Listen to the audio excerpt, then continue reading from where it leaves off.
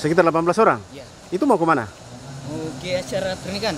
Ah, terus di dalam jembatan putus. Putus. Ah, terus berapa orang- Karena banyak orang di dalam banyak orang yang menyeberang itu? Iya. Terus berapa orang yang masih hilang? Dua. Masih dua yang hilang. Kembali lagi bersama dengan Bang Eros. Putra Toraja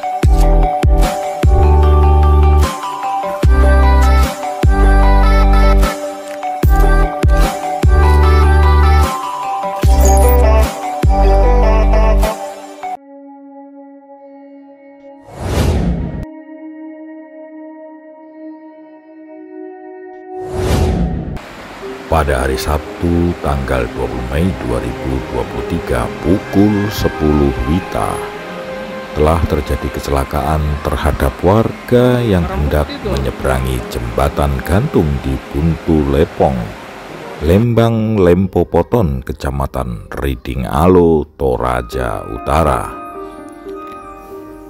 Korban hendak menuju lokasi adat pernikahan atau rambu tuka.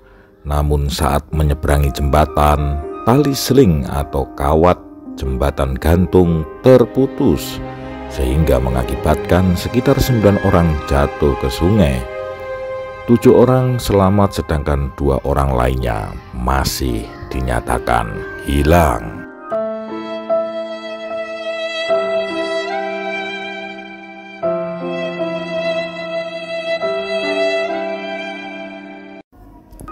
Dua orang yang hilang adalah perempuan bernama Adolfina yang berusia 50 tahun dan Zenia balita berusia 3 tahun. Sedangkan tujuh korban selamat, dua di antaranya dalam kondisi sehat dan tiga orang dirawat di puskesmas Pangala dan dua orang dirujuk ke rumah sakit Marampa. Menurut informasi terakhir, bahwa satu dari dua korban jembatan putus di Lembang Lempopoton, Kecamatan Riding Alo, Kabupaten Toraja Utara, Sulawesi Selatan ini ditemukan tewas.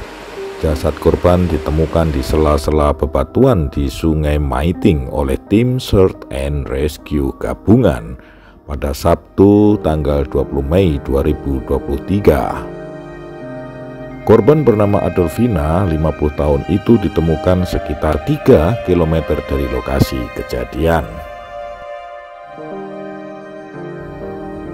Hanya berselang satu hari, balita bernama Zaina umur 3 tahun yang merupakan korban hilang saat peristiwa putusnya jembatan gantung di Toraja Utara tersebut diketemukan dalam kondisi meninggal dunia.